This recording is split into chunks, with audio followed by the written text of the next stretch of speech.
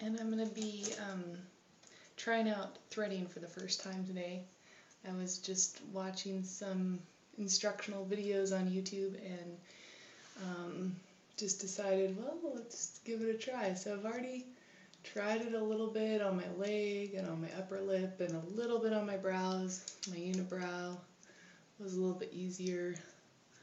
Um, one thing that I did realize is that it's good to clip your hair back. So if you, my hair just kept falling in my face, so I just bobby pinned it back so it's out of my way.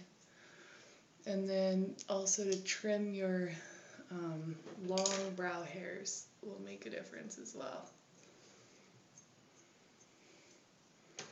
So that's what I'm doing right now. So bear with me, this is my first experiential with threading. Some long, crazy ones.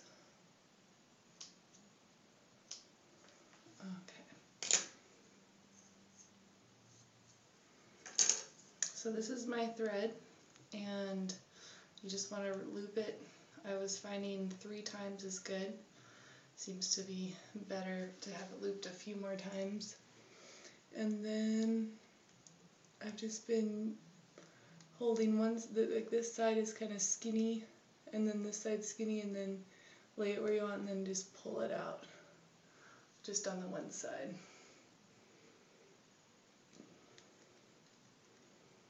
And see how that hair is just popping in there. My way, I'm to put another bobby pin here. Trying to keep that hair out of the way.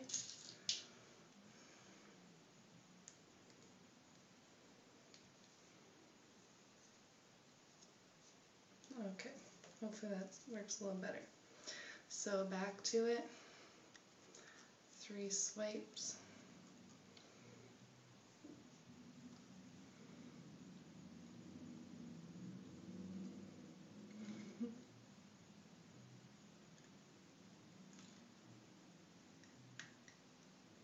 And when it gets, when it's starting to like pull the hair like that, um, I almost feel like if my skin was tighter, it would it would come out better. So I don't know what you could do like when you're doing yourself. You can't really hold your skin tight, but maybe just stretch out your brow really wide like that. And if you do have help, someone could like stretch your um, skin for you.